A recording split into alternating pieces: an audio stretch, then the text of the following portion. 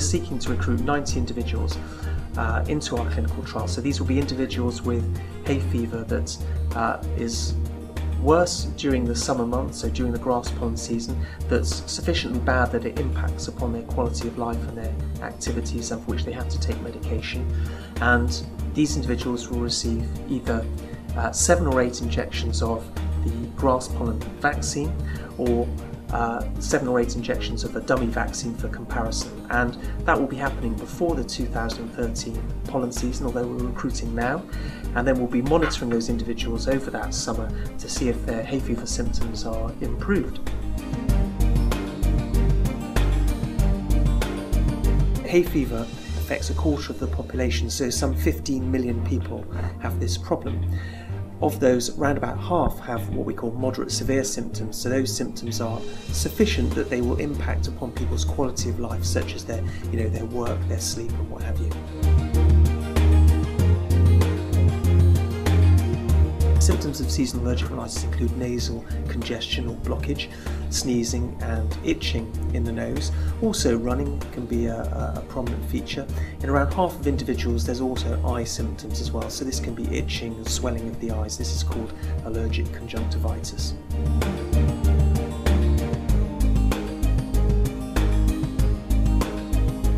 Basis of the pollen light study uh, is a paper that's being published today in the Journal of Allergy and Clinical Immunology.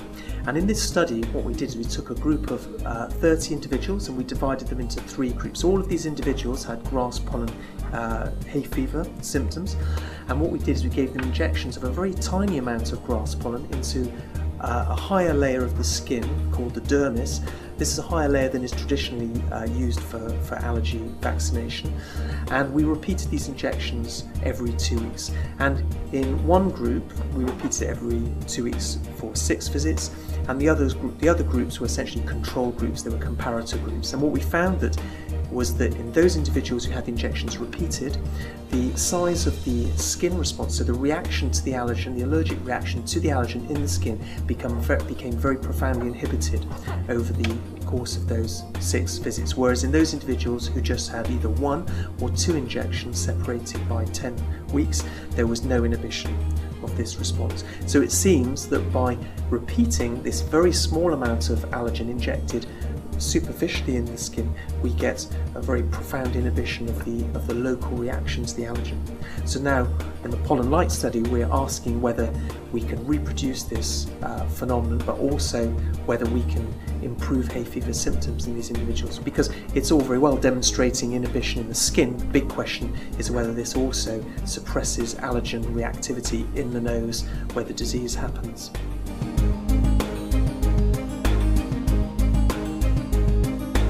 Allergen immunotherapy or allergen desensitization has been around for over 100 years. It was first described at St Mary's Hospital, and the traditional vaccine is given uh, by deep subcutaneous injection uh, with high doses of grass pollen or other allergens um, such as tree pollen.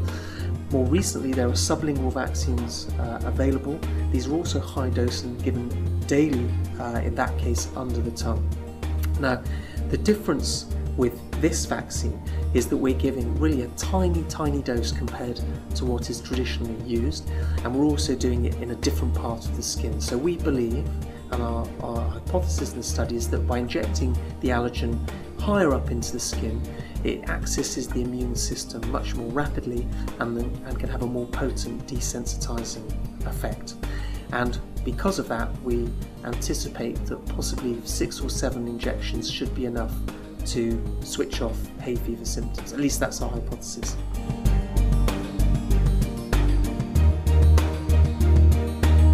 The advantages for the patient could be that they need fewer administrations of the allergen. So in this trial, we're actually giving seven or eight injections before the pollen season at two weekly intervals. So that compares favourably with most of the injection vaccines that are already used. Uh, so one of the other things that could be advantageous in this treatment is that uh, one can see a, a, response in the skin being induced by the vaccine that diminishes over time. So in, in effect, it's like a marker of desensitization.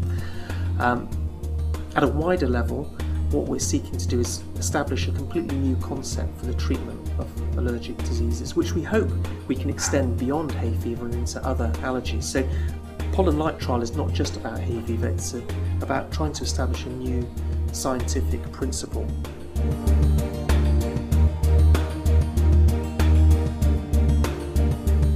low dose intradermal allergen vaccination, such as in the Pollen Light trial, has the potential to be less invasive, more convenient, and cheaper for the, for the NHS, but also uh, has the potential to identify uh, a new type of treatment for allergic diseases in general. But we also think that this is tremendously exciting from a scientific viewpoint and could establish a new principle uh, in immunology research.